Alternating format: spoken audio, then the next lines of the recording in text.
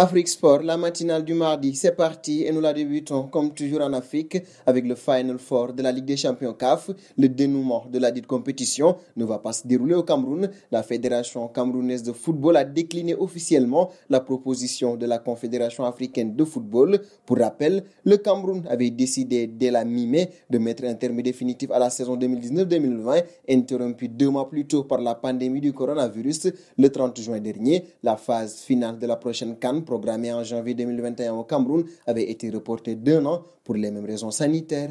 Et toujours autour de cette compétition de la Ligue des Champions, la CAF va devoir trouver une alternative et deux se présentent. Il s'agit de l'Égypte et de la Tunisie. Les deux pays se proposent d'abriter le tournoi et Cham Ben Omran, vice-président de la Fédération tunisienne, annonce que la CAF a été saisie. C'est le stade olympique de Rades qui accueillerait les matchs. Raja, Zamalek et Widat Al-Ahli attendent toujours de connaître le lieu pour conclure la saison. Par ailleurs, le Final Four de la Coupe de la Confédération aura lieu au Maroc.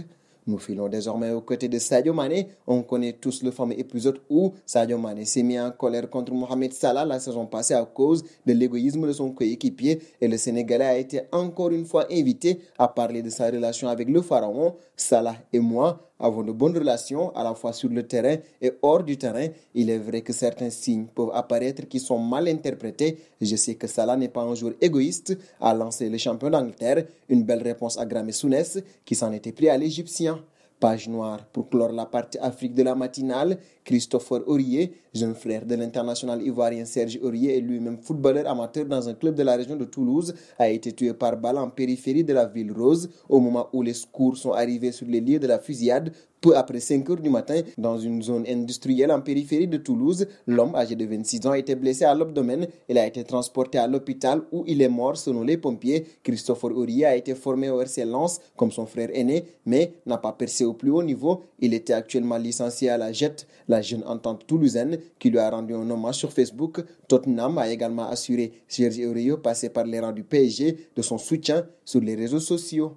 Seconde partie de cette matinale et nous la débutons avec Manchester City. Les dirigeants mancuniens, ses joueurs et tous les supporters de l'équipe peuvent pousser un grand ouf de soulagement. La décision en appel faite auprès du tribunal arbitral du sport contre les sanctions prononcées par l'UEFA a porté ses fruits. Le cadre de Premier League n'est plus suspendu de Ligue des Champions. La saison prochaine, ils prendront bien part à cette prestigieuse compétition et ce, pour la dixième fois d'affilée au lieu de 50 millions d'euros, c'est une petite somme de 10 millions d'euros que les responsables des Citizens vont devoir débourser. City peut désormais se concentrer sereinement sur ces dernières échéances de la saison avec une Ligue des Champions et une FACUP à conquérir. Ces responsables peuvent aussi commencer à travailler sur le mercato en ayant à l'esprit qu'ils auront bien la plus belle des preuves continentales à faire miroiter à leurs possibles recrues dans l'intersaison.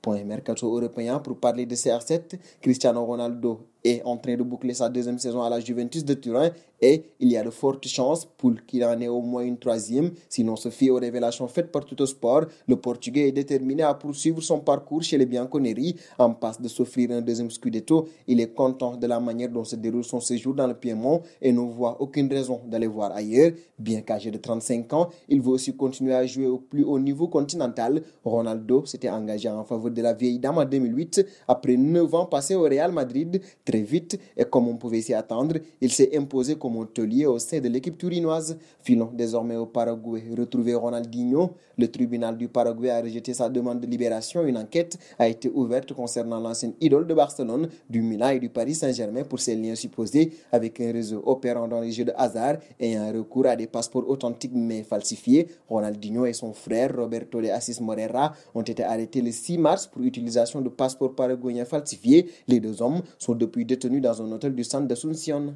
Dernier point de cette matinale et nous parlons des matchs disputés d'abord en Série A où l'Inter de Milan a battu Torino 3 buts à 1 en Angleterre. Manchester United et Southampton ont fait match nul 2 buts partout. En Liga, Deportivo Alaves et Getafe ont fait match nul 0 buts partout. Villarreal a perdu à domicile devant la Real Sociedad 2 buts à 1. Grenada a également perdu à domicile devant le Real Madrid 2 buts à 1. Et c'est sur cette information que nous fermons notre matinale.